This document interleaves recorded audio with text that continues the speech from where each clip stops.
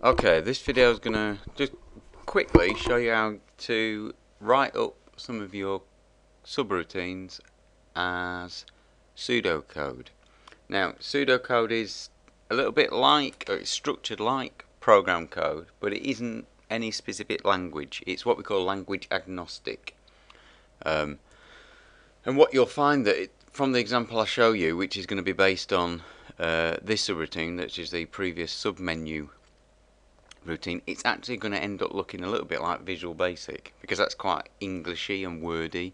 Um, but it still has the same sort of structure with indentation.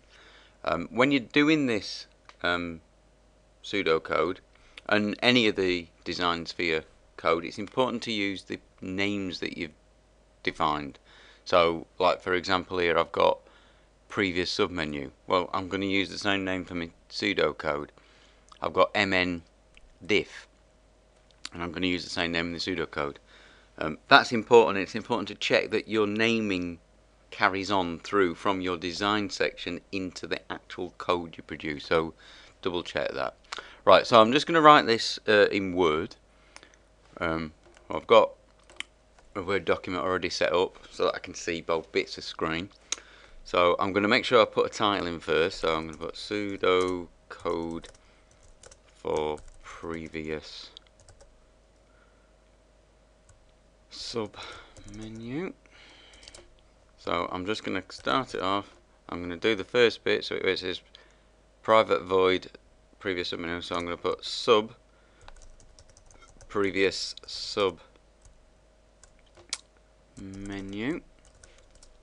And I'm going to put a few blank lines in and then put end sub. So that's the equivalent of that bit to that bit. Okay let's go back to that.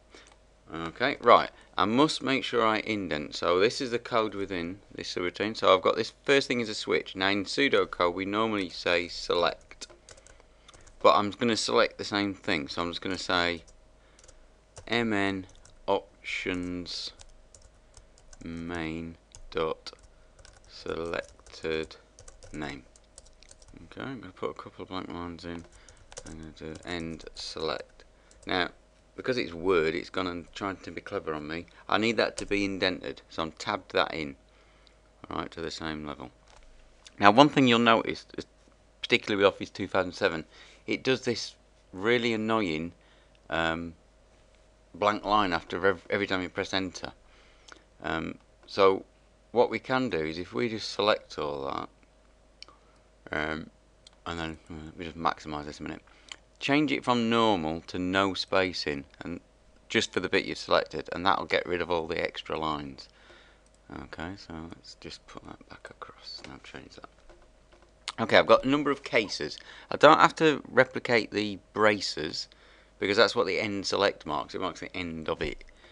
Um, now I've got a case I'm just going to say case and it's diff. That's what I'm checking for um, tab in and I'm just going to say mn diff. So I'm using the proper names previous. Because it's pseudocode I'm using that. And then I've just got another couple of ones. Um, and that was lives. Remember copy and paste pasting make sure you blamming change things. And that was mn lives. Previous. Put another one in and the vol one. Vol and that was mn vol. So I'm keeping those names. Um, and that last one there didn't actually do anything so I'm just not going to put it. And they're the only three things I'm checking for? Okay and that's done. What you might want to do is tidy this up by highlighting all that and then marking the paragraph with an outside border so you can see it quite nice then and you can see that that is get rid of that line Done. Okay, so that's pseudocode. That's one of the things you've got to show.